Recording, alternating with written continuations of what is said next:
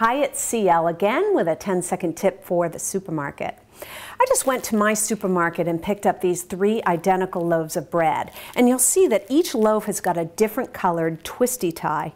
The reason for that is the bread companies use these color codes to determine which bread is old and which bread is new. So Monday is blue, Tuesday is green, uh, Thursday is red, Friday is white, and Saturday is yellow.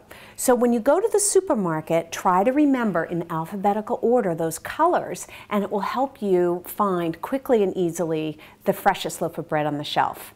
And that is a 10 second tip for the kitchen.